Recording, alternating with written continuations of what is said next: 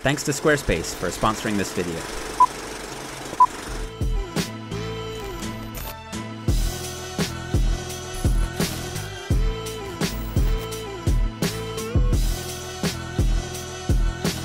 Okay, welcome everyone to a new episode of Myth Bust Monday. Uh, this week we're going to have a look at the idea that drinking alcohol is hindering your fat loss weight loss. And we'll also touch on a few other things like its effect on building muscle and testosterone levels. Um, so I'd like to look at this on two different levels. First, we're going to have a look at what happens in your body when you consume alcohol acutely. So, say on a night out when you're drinking with the purpose of getting intoxicated. Um, and secondly, we're going to look at what happens over time um, so if drinking becomes persistent and consistent. Uh, first, I think it's important to acknowledge that most people should realize that overconsuming any nutrient will lead to fat storage, um, since net fat balance is ultimately determined by net energy balance, meaning if you're eating in a caloric surplus, you'll gain weight, and if you're eating in a caloric deficit, you'll lose weight. And that's regardless of where those calories are coming from, whether from apples or, say, beer. And this fact, while the source of a lot of disagreement on the internet, uh, isn't actually controversial uh, within mainstream scientific discourse. However, I think the more interesting question is not whether or not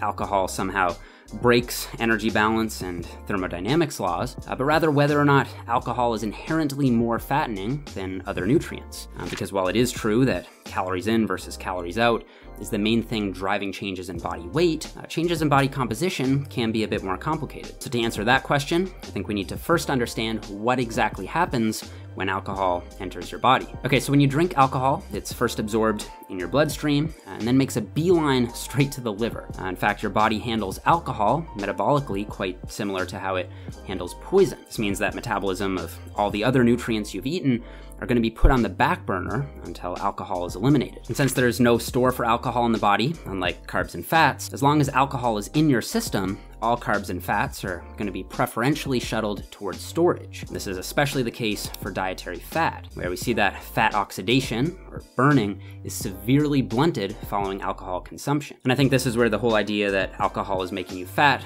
is coming from. Now, here I think it's important to clarify that alcohol itself isn't making you fat at least not directly. In fact, it's actually quite the opposite of that.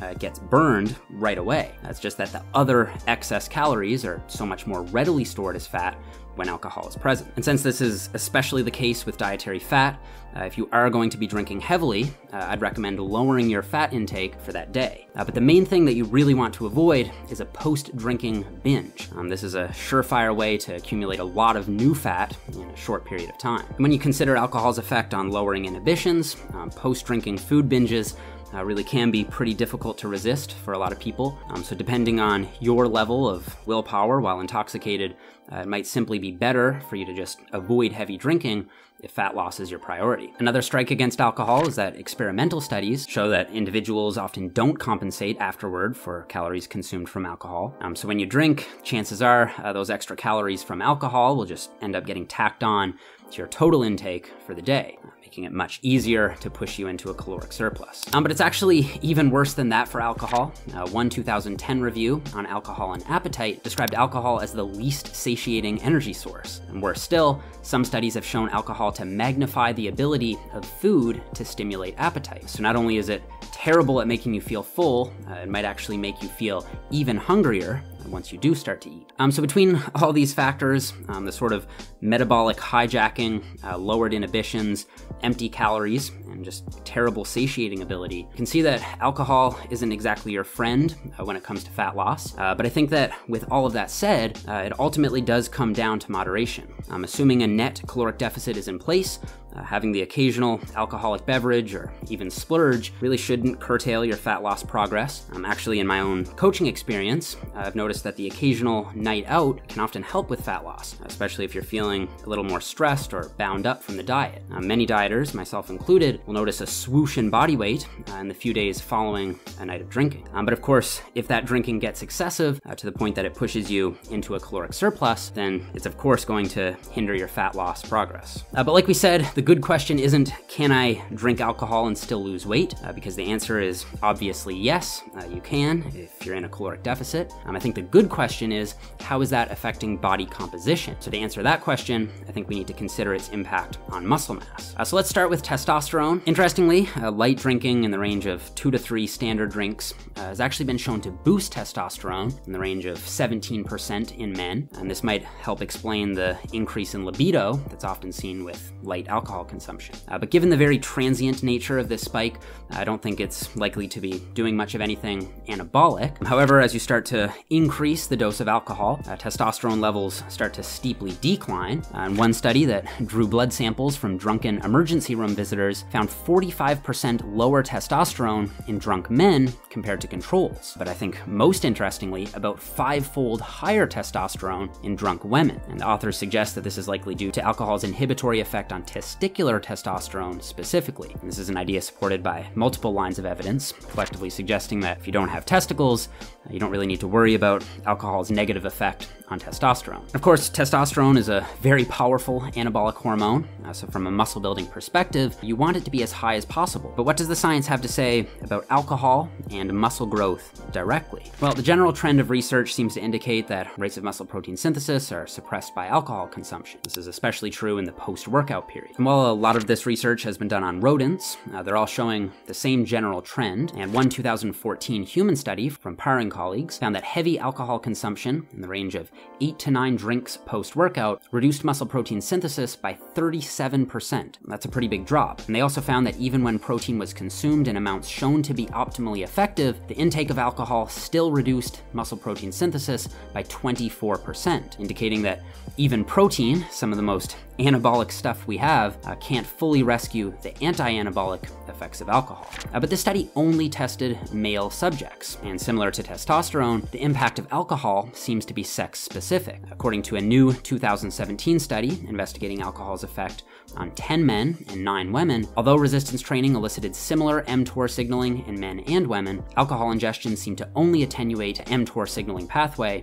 in men. Um, so all this to me seems to suggest that if you are a woman, uh, you probably have much less to worry about from a muscle building perspective if drinking after training. But as interesting as all this acute data is, I would say the biggest potential downfall of drinking is its effect on performance the following day. Um, just how much it affects your training will be individual, and it'll depend on how much you drank. Uh, but through the combination of dehydration, hangover, and interrupted sleep, uh, a night of drinking really is working against you uh, the day after in the gym. Now, of course, uh, once in a while, this isn't going to derail your gains completely, uh, especially if you, say, schedule a planned rest day uh, the day after a night of drinking and just really focus on rehydrating. but if it becomes a regular thing, uh, the potential for performance detriments combined with suppressed testosterone and reduced muscle protein synthesis, especially if you're a man, really could be holding you back, I think. Um, so as for whether or not the myth is busted, I'd say with this one, it just really does depend um, even more than usual. Alcohol in moderation isn't likely to cause any significant fat gain or impair muscle growth, especially if caloric intake is controlled for. But I think in excess, it really is so much more likely to sort of slow your progress down on all fronts. And so I'm just gonna leave it at that for this one. I'll put a quick summary slide up here on the screen with the main practical takeaways if you'd like to pause and go ahead and read that. And before we go, I wanna give a huge shout out to Squarespace for sponsoring this video. If you guys don't know, Squarespace is an all-in-one website platform uh, where you can custom create